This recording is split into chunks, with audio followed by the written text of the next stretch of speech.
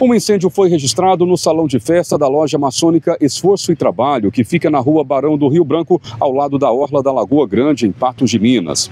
As chamas tiveram início na cozinha do local, após uma mangueira de gás romper. O corpo de bombeiros foi chamado.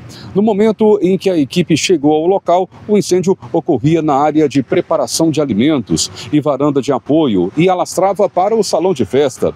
Não tinha público no momento. No local estava a equipe de cozinha que preparava alimentos para uma recepção de convidados que ocorreria no local. Ninguém se feriu. Houve somente danos materiais com a perda de todos os equipamentos, móveis e utensílios de cozinha do salão de festa, danos no telhado e na estrutura da edificação.